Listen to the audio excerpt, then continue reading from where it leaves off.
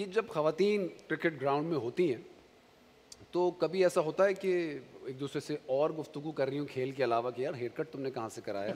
कहाँ से मैनी पेटी आजकल हो रहा है? कुछ इस तरह की गुफ्तु होती है?